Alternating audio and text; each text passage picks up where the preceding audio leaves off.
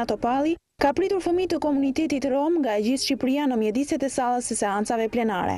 Kryetarja e Kuvendit i bëri thirrje gjithë shoqërisë shqiptare të mobilizohet për secilin prej fëmijëve, për të mbrojtur të drejtat e tyre dhe për të bërë të mundur që jeta e tyre të jetë më e mirë. Nuk ka dhimbje më të madhe për një nënë, për një grua kur shef një problem, një sëmundje tek fëmija apo një fatkeqësi te fëmija. Nuk ka shokim më të madh se sa kur dëgjojmë lajme të vështirë për fëmijë.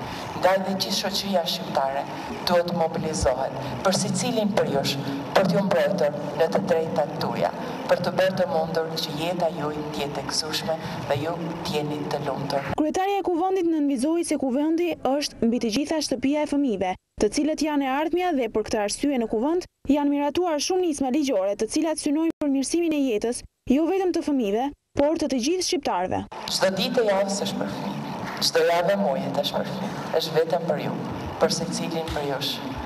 Nuk ka pasuri më të madhe për një komb se sa fëmija, se sa i riu, se sa secili prej jush. Unë gjithmonë kam besu. Se është detyrë e shoqërisë të investojë tek fëmija. Investimi tek fëmija është investimi te kombi.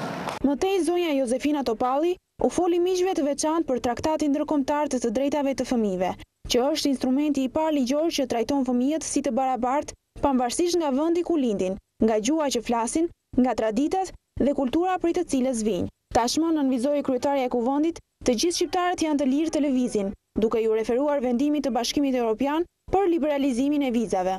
Zonja Jozefina Topalli vizitoi ekspozitën me punime artistike të fëmijëve në hollin e sallës së seancave plenare. Këto punime iu dhuruan kryetares së Kuvendit nga vetë artistët e vegjël, në shenjë mirënjohjeje për angazhimin e saj të vazhdueshëm në mbrojtje të të drejtave të fëmijëve.